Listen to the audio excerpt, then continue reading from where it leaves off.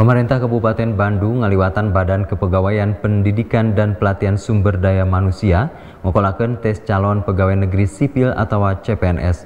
Meh tilu ratus ribu warga ilubiung dina eta tes tina jumlah formasi anu dipibutuh ku pamarentah Kabupaten Bandung tilu ratus salapan urang PNS.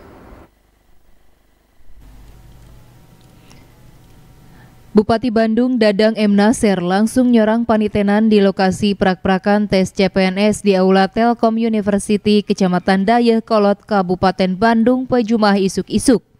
Dina nasnasna Bupati nitenan prak-prakan eta tes CPNS bikin nyendekeun kalancaran turta kasayagaan sangkan tayara regedna nalika dipaju. Dina tes CPNS Kiwari pamarentah Kabupaten Bandung nyayagakeun 308 formasi tina mangpirang widang turta dinas. Formasi anu pangreana dipibutuh nyaeta tenaga pengajar jeung tenaga kesehatan. Tapi kakiwari leuwih ti 13.000 patandang aub dina eta kagiatan.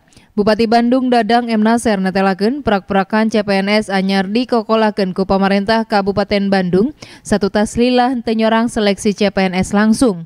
Dirina miharap peta kegiatan mampu nyitak mangpirang calon ASN anu kualitas nahade. Kepada di mana pelaksanaan uh, tes CPNS kita selalu kerjasama dengan Telkom University untuk sarana prasarana tempat di sini. Sementara untuk pelaksanaan langsung itu pelaksananya dari uh, Pihakna meredih sakumna patandang sangkan jujur turta sportif. Dipahing percaya karena isu bocoran soal serta lampah nyogok kalawan ngajang jiken lolos jadi pegawai negeri sipil.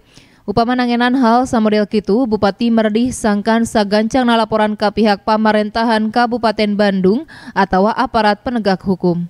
Rezitia Prasaja, Bandung TV.